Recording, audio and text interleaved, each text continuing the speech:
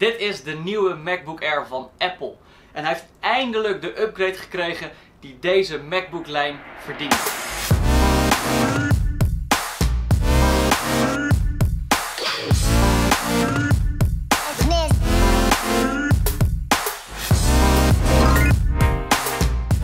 Hoi, ik ben Jasper en Apple heeft eindelijk de MacBook Air eens aangepakt.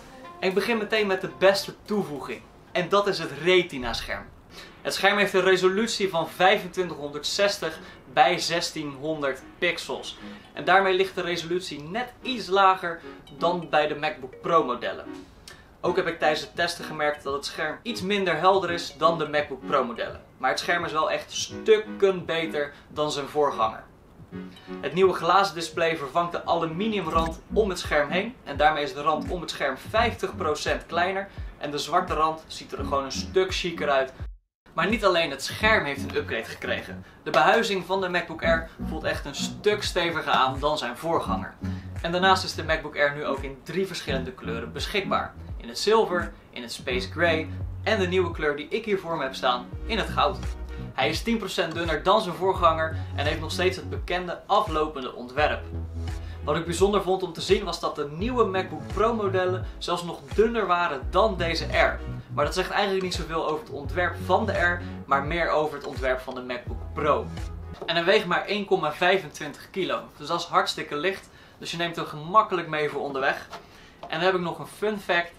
Deze MacBook is gemaakt van 100% gerecycled aluminium. Is toch leuk? De MacBook Air beschikt technisch gezien over drie poorten. En dat zijn twee Thunderbolt 3 USB-C poorten en één koptelefoon aansluiting. En ik weet dat de meningen verdeeld zijn over het gebruik van USB-C poorten op de meest recente MacBooks. En daar is deze MacBook Air dus nu ook onderdeel van. Maar ik vind zelf eigenlijk wel heel chill. Want je kan gewoon op één poort kan je eigenlijk alles aansluiten. Je kan hem opladen, je kan externe schermen kan je aansluiten. En met de juiste accessoires heb je gewoon weer toegang tot een USB-A-poort, tot een SD-kaartlezer.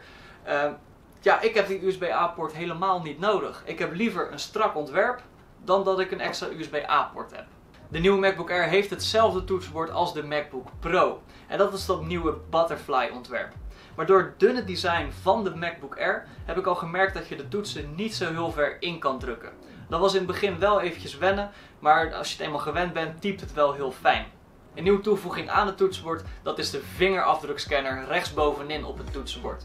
Waarmee je met Touch ID je MacBook Air kan ontgrendelen. In tegenstelling tot sommige MacBook Pro modellen heeft de MacBook Air geen touchbar. Maar mis je dat? Nee, dat mis je niet echt. En dan heb je nog de standaard computerspecificaties. Nou, de nieuwe MacBook Air heeft een 1,6 GHz dual-core i5 processor. Hij heeft standaard een opslag van 128 GB, maar dat kan je uitbreiden tot 1,5 terabyte. Standaard heeft hij 8 GB RAM, maar dat is uitbreidbaar tot 16 GB RAM. Maar wat zeggen deze nummertjes nou precies? Is de nieuwe MacBook Air sneller dan zijn voorganger? Ja, dat is hij zeker. Maar je gaat er toch vooral hetzelfde mee doen wat je ook al met de vorige Air zou doen. En dat is natuurlijk gewoon op internet surfen, nou, meerdere tabbladen open hebben staan. Dat kan niet makkelijk aan, dus daar hoef je geen zorgen over te maken. Uh, denk aan Microsoft Word, tekstverwerking, Microsoft Excel. Ja, dat gaat allemaal gewoon hartstikke goed. Video- en fotobewerking, dat kan die. Maar als je het echt professioneel gaat doen, dan raad ik je toch echt een MacBook Pro aan. En is deze MacBook Air nou net zo revolutionair als zijn voorganger? Nee, dat is die niet. Maar de MacBook Air is eindelijk weer up-to-date. Met alle vernieuwingen van de afgelopen jaren. Dus ben je nou op zoek naar een goede, betrouwbare en moderne Mac? Nou, dit is hem. Ik ben er oprecht heel erg enthousiast over. Wil je de toekomst nou nog meer van dit soort video's zien? Vergeet je dan niet te abonneren op ons kanaal. Voor nu bedankt voor het kijken en tot de volgende video. Doei!